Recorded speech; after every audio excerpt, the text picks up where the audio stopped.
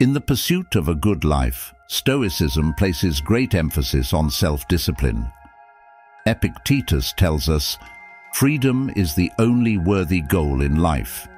It is won by disregarding things that lie beyond our control. But how do we achieve this freedom?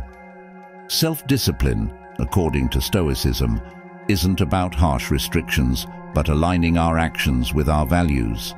It's the practice of choosing virtue over vice, action over inaction, and focusing on what we can control.